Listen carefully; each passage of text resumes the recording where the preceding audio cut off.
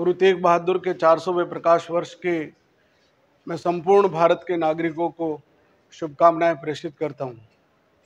भारतवर्ष में अनेक संतों का योगदान रहा विशेषकर सिख समुदाय के जो पंज प्यारे जिसे हम बोलते हैं, उन पंज प्यारों को जब धर्म की रक्षा के लिए, मूलतः आज पूरे देश में जिस तरह से संप्रदाय को धर्म बना दिया गया है, वो एक बहुत बड़ी चिंता का विषय है। हमारे सनातन संस्कृति में कई संप्रदाय रहे।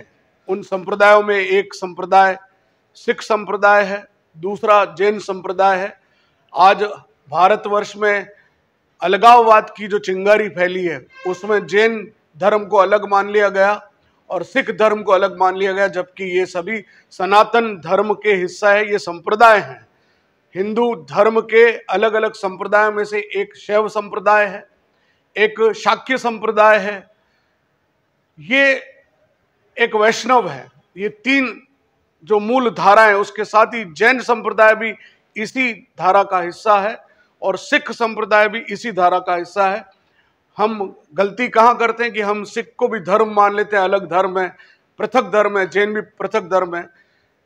गुरु तेग बहादुर ने सबसे पहले यदि कश्मीरी पंडितों के उस बात को जब जब मुगल सम्राट औरंगज़ेब ने अत्याचार करके और पूरे देश में हिंदुओं के खिलाफ एक षड्यंत्र करते हुए उनके धर्मांतरण, मजबूरन धर्मांतरण करने का जो एक कुचक्र चलाया, उसमें पहले विरोध करने वाले गरगर अलग अलग राज्यों में जाकर जिन्होंने अलग जगाई, ऐसे गुरु तेग बहादुर थे।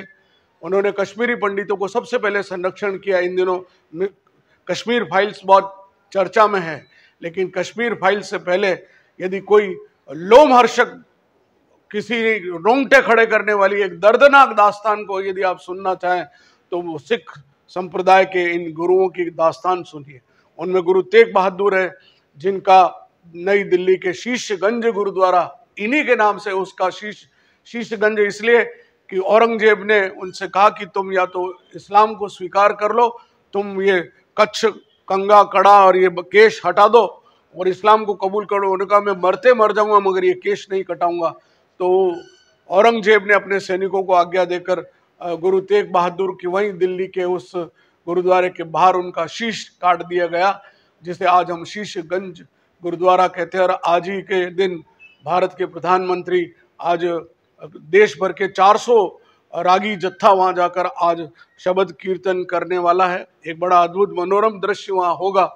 लेकिन जो जो त्याग बलिदान इन गुरुओं ने किया, सिख गुरुओं ने मतलब जो सिख का मतलब है शिष्य।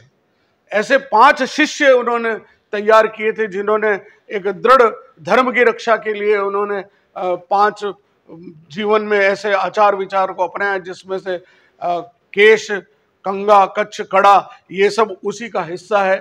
गुरु के इस प्रकाश पर्व पर मैं सम, समस्त भारतवासियों को विशेषकर सिख समुदाय के लोगों को जो इस भारतवर्ष की रक्षा के लिए बने थे आज भी सिख समाज का बहुत बड़ा योगदान भारतवर्ष की भारत की सेना में है भारत के व्यवसाय में है।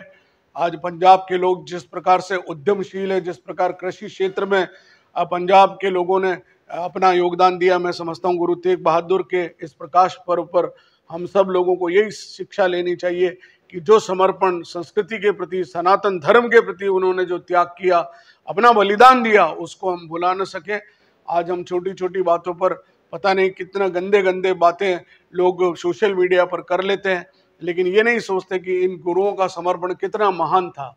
आइए हम सब नई पीढ़ी को भी एक संदेश दे सके कि इन जैसा सेक्रीफाइस तो आप नहीं कर सकते, लेकिन कम से कम जो इस देश की सनातन संस्कृति, इस परंपरा के वाह को, उसकी रक्षा के लिए तो आप आगे रहकर कम से कम विचारों को, मूल्यों को तो ज़िंदा रख सकें। इतना ही मेरा आपसे कहना है। एक बार पुनः आप सभी को चार सौवें प्रकाश पर्व की गुरु तेग बहादुर जी के इस चार सौ प्रकाश पर्व की बहुत बहुत शुभकामनाएँ बधाई है